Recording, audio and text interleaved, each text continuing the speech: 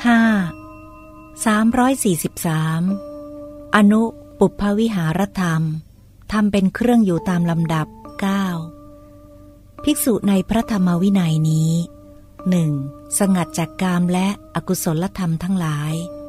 บรรลุปฐมฌานที่มีวิตก วิจารปิติและสุขอันเกิดจากวิเวกอยู่ 2. เพราะวิตกวิจารสงบระงับไป บรรลุทุติยฌานมีความผ่องใสในภายใน มีภาวะที่จิตเป็นหนึ่งผุดขึ้น ไม่มีวิตก ไม่มีวิจารมีแต่ปีติและสุขอันเกิดจากสมาธิอยู่ 3. เพราะปีติจางคลายไป มีอุเบกขา มีสติสัมปชัญญะ เสวยสุขด้วยนามกาย บรรลุตติยฌานที่พระอริยะทั้งหลายสารเสริญว่า ผู้มีอุเบกขา มีสติอยู่เป็นสุข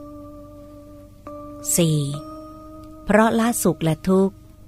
เพราะสมนัตและโทมนัตดับไปก่อนแล้ว บรรลุจตุทชาญที่ไม่มีทุกข์ไม่มีสุข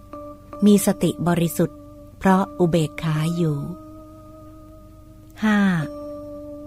บรรลุอากาสานัญจายตนะฌาน โดยกำหนดว่าอากาศหาที่สุดมิได้อยู่ เพราะ ล่วงรูปสัญญา ดับปฏิฆาสัญญา ไม่กำหนด นานัตตสัญญาโดยประการทั้งปวง 6. ล่วงอากาสานัญจายตนะฌานโดยประการทั้งปวง บรรลุวิญญา นัญจายตนะฌานโดยกำหนดว่า วิญญาณหาที่สุดมิได้อยู่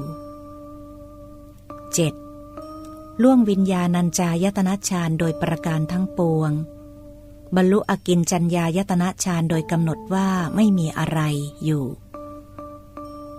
8. ล่วงอกินจัญญายตนะฌานโดยประการทั้งปวง บรรลุเนวสัญญา นาสัญญายตนะฌานอยู่ 9. ล่วงเนวสัญญานาสัญญายตนะฌานโดยประการทั้งปวง บรรลุสัญญาเวทยิตนิโรธอยู่